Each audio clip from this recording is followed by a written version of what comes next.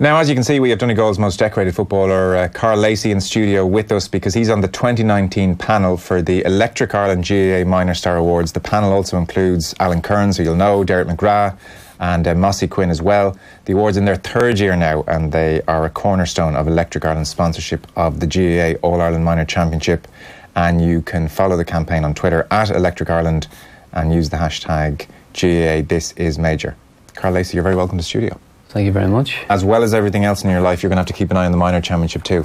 Yeah, yeah. Actually, looking forward to it. It's um, I think the minor level, it's it's an age group where you know, tactics aren't as much, and it's more free flowing football, and young lads get to express themselves. So it's always an exciting. Um, they're exciting games to watch, and I'm actually looking forward to now seeing who comes up trumps and who's the best in the country, and um, we'll, we'll see what happens. This is before defensive coaches like you get their hands on them and ruin them. Just take the joy out of the game. That's exactly that's the way I was going with it there. yeah, yeah.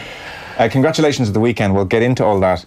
I was just doing a bit of reading about you. One of the more interesting things I saw, don't know if it's true or not, is that when you won the All Ireland in 2012, Arsene Wenger sent you a letter of congratulations. Is that right? That's the most interesting thing about me. It was That's, one of the uh, more interesting things I didn't know. All right, right. Uh, yeah. Um, Not bad. That's a nice I- touch. It was, yeah. Now, I don't know how genuine that was from Arsene Wenger himself, but uh, I received a letter. Yeah, obviously, I've, I've contacts over at Arsenal. I've been over um, at their training centre a few times, Mm-hmm. um, and they always the, the guys know that I followed them fairly close, and they organised that Arsenal would send me a letter of congratulations when we won All Ireland. So it's nice to have, and I think it's actually in the Croke Park GAA Museum at the moment. So I must get it back off them. was this as part of your masters in high performance at Limerick that you were over there? Uh, yeah, so I was doing my masters in Limerick and I had to do placement as part of it. So I um, got in contact with uh, Desmond Ryan, who's a Galway man, who's he's over there, and he's in, he says, yeah, no problem. He took me over on a two week placement, so I spent two weeks over there in their high performance academy, um, shadowing the coaches and getting a overview of everything that goes on at Arsenal. What did you take away from that?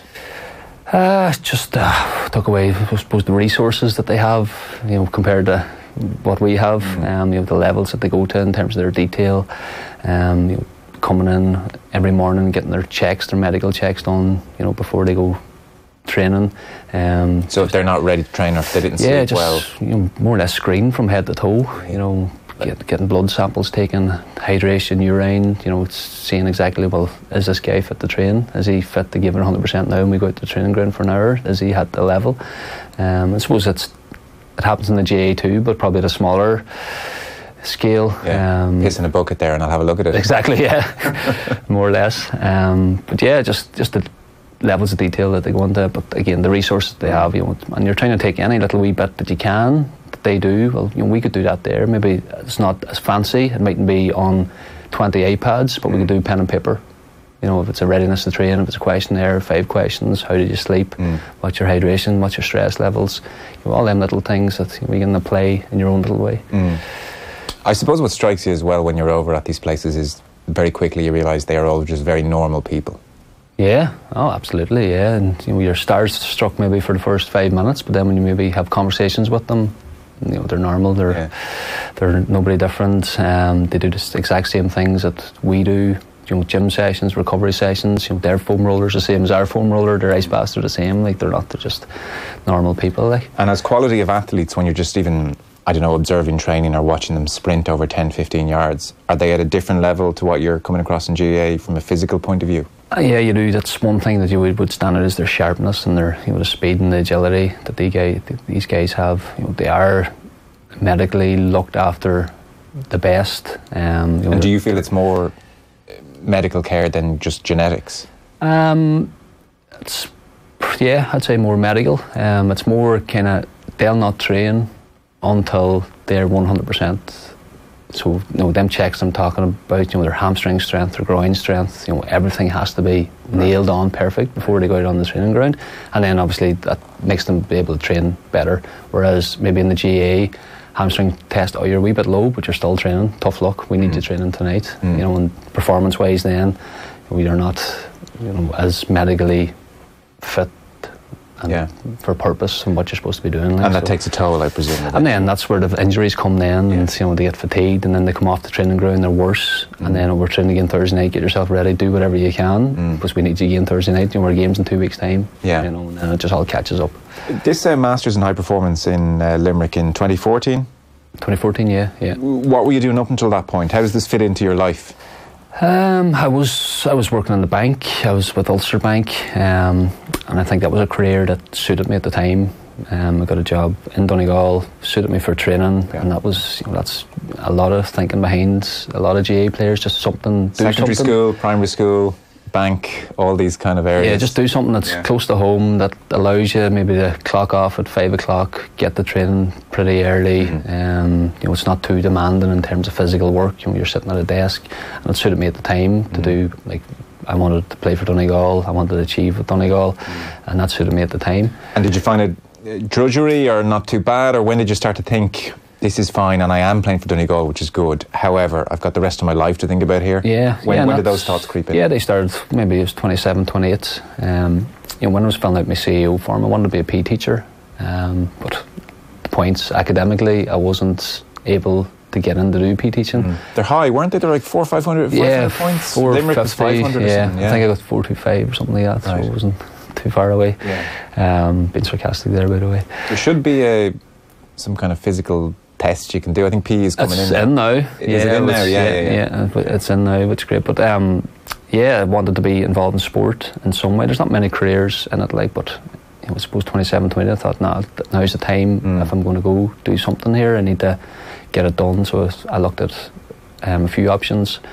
Michael Fenley had done the course just the year before me in Limerick, and I spoke to him, and he says, "Yeah, go for it. It's a great course." And um, I did it, and kind of a few doors opened up. Then I got into lecturing. So Right.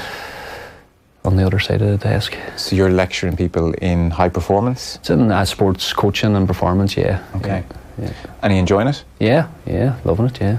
Do you still have an inkling to go and work in a professional sports setup in an ideal world, or are opportunities just too few and far between? Yeah, there's not opportunities around home. Like, um, I'm based in Donegal, so you know, they're, as you say, they're Ulster Rugby would be about the closest Ulster Rugby, yeah, yeah, Set up, would it? yeah, probably would be, Or yeah. a League of yeah. Ireland team with a big budget, and there aren't many There's of them. not many of around. them around, yeah. But listen, the GAA is is as professional as elite as you're going to get, but it's going to be voluntary. So you Yeah. know, I'm, that's what I'm doing at the moment. I'm really enjoying it. I'm building up loads of experience doing that. So you know, I'm happy there, along with my full time job in LYIT.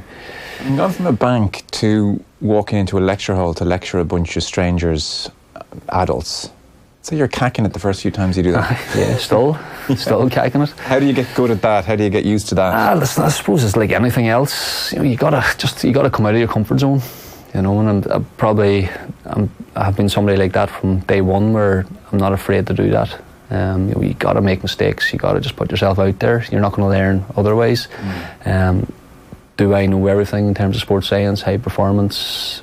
I wouldn't say so, no. Um, but you know, I do try my best at it. Um, and you gotta just you know every day is a learning day. You know everybody says that, and that's it's so true. Like you know, I learn every day. I learn from the students themselves. You know, there's sometimes in the classroom, a student might know something that I don't know. You know, and I'm, I'm learning from that as well. And Mm. um, you know, it's it's good that sense. But no, it's, I say you just come out of your comfort zone and you gotta go with it. To what extent did Jim McGuinness inspire all this, I wonder? Uh, I don't know. I don't know. He's um, Jim has been a big part of. Um, you know, he's been huge. What would I say? Role model for me. Um, he, he got to know him very well. Well, I played with him when he was finishing his career. Um, didn't know him as well. He came in then 2011, like, and I got, you know, getting to see the real Jim McGuinness, seeing what he's all about, his belief in us, um, his belief in me, and I worked. I was very close to him when he was when he was in with us, and um, yeah, he's he's gone on to bigger and better things now himself. Frankly, too, so- unbelievable what he's managed to do with his career and his life and what Yeah. he's been. You Yeah. know, you just Yeah. would have said it's not possible to do what yeah, you've done. that's it. Then it's, it's again, it's about it's how driven you are, you know, how much they enjoy it. Mm. We, I'm sure Jim knows he doesn't know everything in soccer either, but he's coming out of his comfort zone as well, and he's really going after it. And Yeah. um, I guess I kind of asked that because, you know, as an exercise in realizing your potential, or potential maybe you didn't even know you had, the Jim McGuinness Donegal journey is almost beyond anything you've seen in GAA in a long time. You know, you guys were just not being talked about in those terms of All Ireland winners and how quickly you got to that point. Mm. It must have been an amazing thing. And I, I know, you look, you were winning All Stars even before Jim arrived, so you were on a personal level doing very well, I know. But it must have been an amazing thing to be in the midst of a team who were gone from written off, you know, maybe winning an Ulster tops, that might be the, the kind of full scale of the ambitions, to, frankly, looking unbeatable across 2012 and, and winning in Ireland in such brilliant fashion. Like, to be in the midst of all that as the thing is flourishing must have been unbelievable. Yeah, when you're in the midst of it, it's, you don't. You are just caught up in this little bubble. Um, you don't notice as much as happening. No, you right. do not. No, you don't. You're just you know every day you're just you're trying to become better, and um, as I say, you're just every day's different. You're just going training. You're winning games. You're maybe going into an Ulster final. You're winning an Ulster final. You, you don't have time to stop and look back and say what's happening here. What's happening here? Yeah, it's just you know, it's, I'm probably somebody that has never looked back. You know, since you know, even looked over my career. Um, you know, I haven't looked back that much on it. I'm mm-hmm. just somebody that keeps looking forward and looking forward, and um, say you're you're caught up in all of that. Um, there will be a time where I do maybe look back and go, geez, what was that all about? Or, you know, that must have been amazing. And it was at the time. Mm. It, it, it, was. Um, I guess I'm just, you know, you, that must be quite an inspirational thing, even if you're caught up in it as well. But you know what's going on, and maybe that's what makes you go, well, you know what, I'm going to have a crack at my career now, and yeah. anything's possible. I just probably adding two and two up here together, but you just wonder if going through something like that yeah. makes you think, well, I'm going to apply that to my career. I wonder if, if that crossed your mind. Um, no, it hasn't really. Okay. No, it hasn't really. No, no. Yeah, you were just going to plough on either way. Plough on, yeah, exactly. Uh, you were Player of the Year in 2012. Um, was that your kind of peak? Do you feel, or? Uh, I suppose so. Yeah. Yes. Um, you're you're playing on a bigger stage, so you were. Mm. Um, you know, performance-wise, was probably in the best shape I've, I ever was in.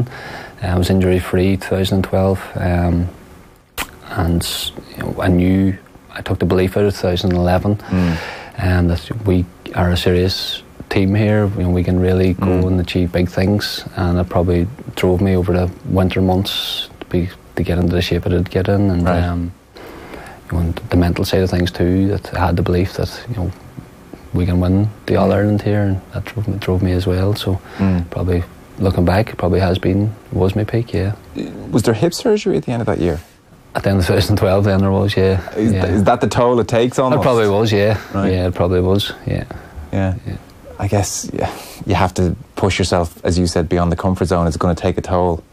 Yeah, you just, that's every day, you just do whatever you can. And, um, you know, in, injuries don't, if you can get onto that pitch for 20 minutes, if you get on for 40 minutes, mm. you're going to get on and try and do whatever little bit you can. If it's, in, you know, it's maybe 20 minutes of running if you're not allowed to get, if you're not able to get involved in the full session. Mm. You're still going to get onto the sideline. You're going to be you know, challenging your physios, your doctors. You know, what can I do here? Can I get on a bike? Can I get into the pool?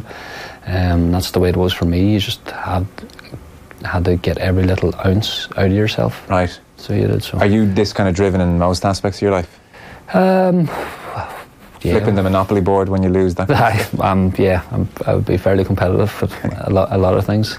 Without a doubt, yeah. It's, it's not the well-adjusted adult type tends to do well at sport. That seems to be the way. Yeah. Um, the weekend went very well, obviously, against Tyrone. You're working as defensive coach largely now. Did I read? Stephen Rochford's almost like head coach? I mean, who knows what the terms are in GAA anymore, but is that yeah. how the order the works? The structure would be something like that, yeah. So Declan would be, Declan, obviously the manager, and then Stephen would do all the coaching, um, and then I would look at maybe working, breaking it down a wee bit more in terms of our defensive system and looking at our defenders and working with them more closely on an individual and maybe as a collective as a group as well and so like tackling like that kind of stuff and, and, how we're covering overlaps how we're covering different scenarios that kind of stuff yeah yeah right? yeah yeah and that worked a treat at the weekend, it seems. Everybody was talking about how brilliantly Donegal shut Tyrone down. Uh, talk to us about what you did and how you dreamt it up. Aye. In so much as you can. I know you can't give all the details. Not that we didn't. It seems like you played with certainly a sweeper and for the full back. You were very aware that Tyrone this year have been kicking more. Yeah. And you decided to make that more difficult for them. I think we can extrapolate that much from watching on TV. So that that must they must have been the types of conversations you guys were having. Yeah, and that's it. Like, and you obviously you look at the opposition, see what their strengths are, and then you, know, you, you break that down. And how do we counteract that? And um, you know, you said it there, Tyrone over the vast majority of the league. They've been kicking a lot of ball. Yeah. Um, Cathal McShane's been ve- playing very well. Matty Donnelly's been in there. Petey Harte, you know, they, they were playing very well. So that was one area that we thought, well, we need if we can shut this down, then we have a good chance of winning the game. It's not going to win us the game, but we need to, you know, sh- shut it down. And one thing Tyrone very strong at as well is running down the middle of our defence, you know, right down the centre. Um, you know, we knew that you know, if we had that closed off, off, on yeah. top of Donnelly, Harte, and McShane, then you know, we're, there's a good chance we could get over the line here. So Yeah.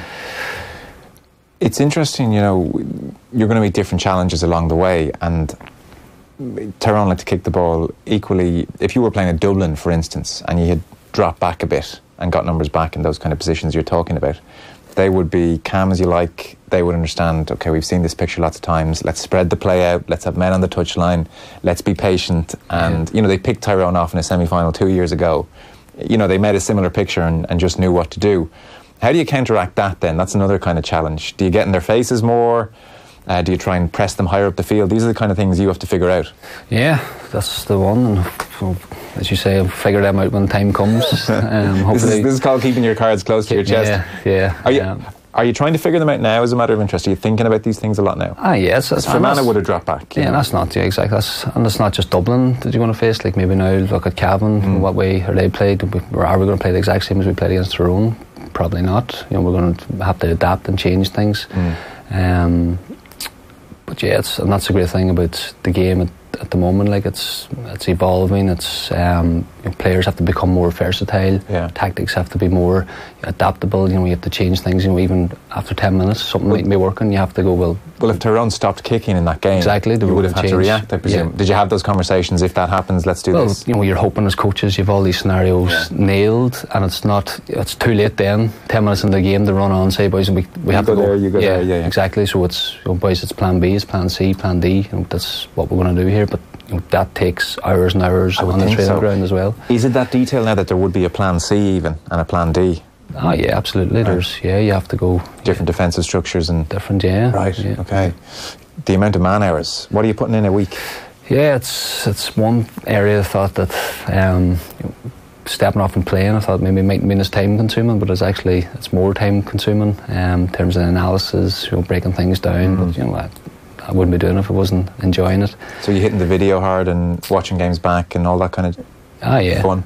yeah, you got to do all that. Yeah. Does it work that you will almost sit down with, say, Stephen Rochford and uh, Declan, and they'll almost say, "All right, defensive coach, give us your plan," or is it a bit more of a Ah, it's very much together. Yeah. Yes, it's very much not one person makes any one call on anything. It's you know, we we throw out our ideas Mm. together. And I'm sure this happens across all teams. We're not the only team that maybe focus on defence and attack. Everybody's no. got their special coaches in. I guess it can Um, depend on personalities. You might have a very strong defensive coach. You'll say, "This is what the we way, do," and yeah. so every team's going to work differently. You look fit this year, I have to say. Like it looks like a team. You know, I mean, look, Tyrone maybe had a bit of an off day in some ways, but geez, you looked a yard faster than them as well, and sharp and in in good fettle. Yeah, yeah, we'd be happy in terms of our physical um, and where we're at. We've got young lads, young leg, legs in there as well. Helps. It helps as well. So it does. Um, but listen, we're just going to take each game as it comes. Um, as you said there, we don't really know where Tyrone we're at. Mm. Okay, and we can't read too much into it. We just have to look after our own um, house and you know, say hit the training ground again now and just try and improve and try to become better. Tactically, you know, on game plan, try to become better physically. Let's try and get a wee bit more fitness levels in, um, and we'll see where that takes us this year. I suspect you're not going to tell me what the aims were if they uh, were written down. But did the team get together at the start of the year and say, "We want to do X this year"? Maybe win an All Ireland, maybe get to semi final, maybe get to Super Eights, whatever it is. Do you sit down as a group and, and put those targets in? Like, is that what say Jim McGuinness did, or is it more of a well, let's take each day as it comes? Ah, you would have broad. You, would- you like let's maybe aim. Let's aim for an Ulster final. Let's go from there. Let's maybe see if we get into the Super Eights. Let's take it take it that approach. Mm. Um, you know, but yeah, you can't look past you know, any one game. And I know it's an old cliche, and everybody you talk to will say that. Yeah, it's literally the most boring thing you could ever say to me. Yeah. But there's a truth in it, I know. There is, yeah, absolutely. And it's funny, like after the National League, we have six, seven weeks to prepare for Mm. the Fermanagh game, and then that game's over, and then you've only 13 days to prepare Yeah. for an Ulster semi final, is going to be a bigger game. You get on the treadmill team. quickly then. So then it's, Yeah. it happens so quick, so it does. Yeah, and you're not going to know. You have to look at Cavan six weeks ago the way you are now. Yeah, just to you're know, on it. exactly. Yeah, yeah, Yeah, yeah. Are you enjoying it all? You, have you realised? Um, I guess you had a suspicion that coaching was for you, and you can get a wonderful buzz from imparting knowledge and teaching people, and you can see why lots of people have it as a vocation. Is it what you hoped it would be, and are you seeing yourself being involved in management down the line and coaching down the line for the next 10, 20, 30 years? Yeah, listen, I don't know where I'm really going to go with it, to be honest. Right. Um, it was, that's happened really quick for me. I finished 2017, and Yeah. You're coaching your Declan- friends, really, aren't you? Yeah, a lot of them would be, yeah, yeah. And Declan rang me and I met him, and um, I wasn't sure was he trying to convince me to go back playing, and that wasn't the case. That was a little blow to the ego, and he said, "No, no. I definitely don't want you playing." But uh, yeah, he asked like a nice whatever. I don't know what the type of role was that he wanted, so I wanted that well defined. What exactly is it you want from me? And it was more kind of just come in and. You know, from past experience, just help them younger lads, which we have a lot of them in there, and any wee bits of advice and knowledge that I can pass on to them and do that, and you know, it's kind of evolved and kind of getting more hands on now in terms of analysis and stuff. But you know, Declan's been involved in management for a long time, and I'm learning from him. Stephen Rochford now this year, you know, huge amount of experience in terms of coaching. I'm learning so much from him, and and uh, when you're learning things from them, because like obviously you're an experienced player, you've been a player, the best player in the country across the season, four All Stars. When you're learning from them, like, are you learning structures? Are you learning different defensive setups, different attacking setups, different tactical side of things, or are you learning how you actually coach someone and impart knowledge? yeah, it's both. Is it? Yeah. so you, Both, you wouldn't have all the answers to all the systems, even though you played for a long time. No, and I wouldn't have all the answers to tackling either. You know, maybe, and that's a big challenge for me is you know, being able to tackle for me when I was playing. Maybe just kept natural to me. Okay, I'd never overthink about tackling. Yes. Then the players come to you now. Well, what am I doing wrong here? Was it my feet positions and my hands? And you kind of have to break that down. You have to think a lot more about it. It's like a Um, golfer who doesn't know how they swing a club, and Yeah, until you yeah. ask them. Yeah. Yeah, and then trying to get your point across and you know on what you're trying to say to them in Yeah. terms of coaching and getting them to understand that then is another challenge. Big skill that to, It make- is, yeah. to communicate really well. Yeah, and then play up. Everybody's different. Yeah. You know, they take messages different ways, and you have to adjust to that. And your people skills and different personalities, and Sean Dyche, uh, for a while, wore a recorder on his um, like a little lapel mic for when he was having meetings with players, Yeah. and afterwards would listen back to his communication and would realise, oh, oh, that wasn't very clear what I said there, or I didn't put that very well, because it's just that difficult yeah, yeah. to get what's in your head out all the time That's really it. well. Yeah, and it sounds brilliant in your own head. Then when you say it to somebody else and they're looking at you, what are you on about? Yeah, yeah, You yeah. know, so- did you not know? No, did you not know what I mean? Saying, Yeah, yeah, yeah. Um, okay, well, listen, it's great to have you in. It's fantastic to see you still involved in the game at a high level, and it's great to have Donegal doing well. So, Ulster final next. Ulster final now, yeah. So we're looking forward to the big day. It's always a great occasion. Um, I've been lucky enough to be involved as a player in a couple. I've been lucky enough to win. Um, I've been on the losing side as well. So it's it's always a big occasion, and um, it's great to be there. And Cavan, um, it's going to be a great spectacle. They'll so be up for it, yeah. It'll be Yeah. a good day out. Listen, keep it going. Karl Lacey, pleasure. Thanks. Thank you very much.